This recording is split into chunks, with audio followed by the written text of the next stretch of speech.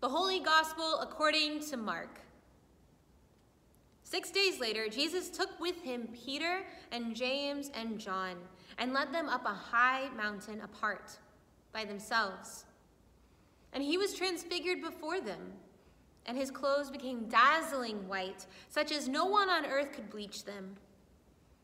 And there appeared to them Elijah with Moses, who were talking with Jesus.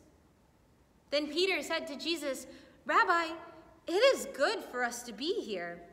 Let us make three dwellings one for you, one for Moses, and one for Elijah. He did not know what to say, for they were terrified.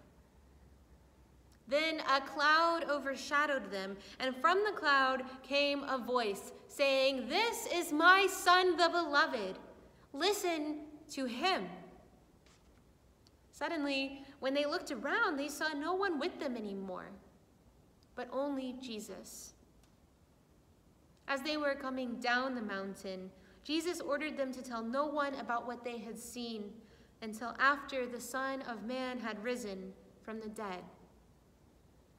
This is the gospel of the Lord. Praise to you, Lord Christ.